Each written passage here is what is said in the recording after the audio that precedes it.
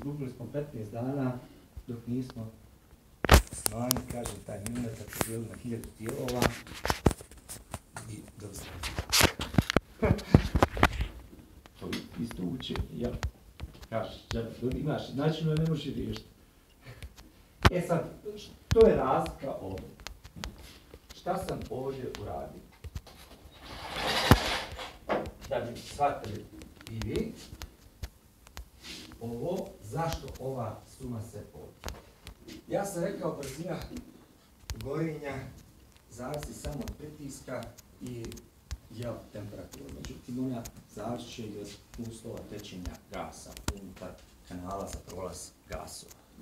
Pa što se poveća brzina gasa, ucat će na samu brzinu sagrijevanja, doći do nekog erazivnog sagrijevanja.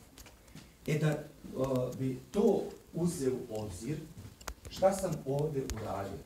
Da bi ovaj dimenzionalni model napravio kao jednodimenzionalni, kvazi jednodimenzionalni, hajde da kažem tako,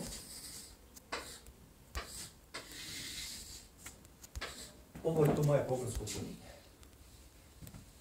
Da bi uzeo efekte mogućeg javljanja razinog gorenja i sve što može ucati na samu brzinu gorenja, ja sam punjenje dijelio na n dijelova. Znači, ova suma je n tih dijelova. Pa kažem, sada ovo ovdje moj pravac, uzmem ovaj dio, ovdje ta količina gasa i ta količina će proći kroz ovaj presjek ovdje. I tu će biti nekaj maseni protok 1. Okolo fluks 1.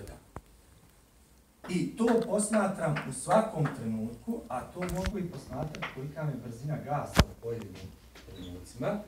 I ako mi je sada maseni protok kroz ovaj kanal, na primjer, manji od 2000 kg u sekundi po metru kvadratnom, koristi